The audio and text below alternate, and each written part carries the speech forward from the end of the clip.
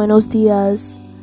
Oh my gosh, I'm a YouTube girly now. Okay, so obviously I'm gonna start off by saying this isn't my routine every day. I don't wake up at 5 a.m. every day, but when I do, this is what my ideal 5 a.m. routine would be. So I first start off with the Bible.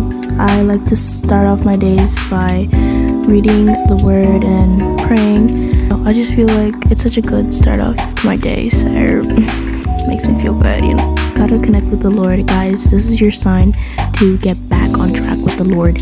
Start reading your Bible, start praying, and start getting closer to the Lord, okay? Because He's waiting for you. Anyways, next step, I like to journal. I write down three things I'm grateful for in life and five things I love about myself. And I also started using this method um, from this book I read. The book is called You Are Awesome by Neil Pasricha.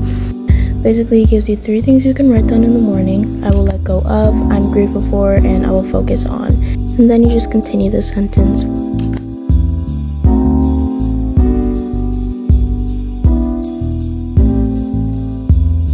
And I think it's just a nice way to get your thoughts out, and I really love it. Journaling in general is amazing, so if you need to get your thoughts out there, journal it, okay?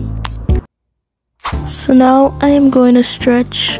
For some reason, I have a hard time remembering to stretch in the morning, but again, we're trying to build habits here, right? So now, because it is 5 a.m., and I do want to go back to my bed, I put on a random music playlist on YouTube to hype me up. Yeah, there we go.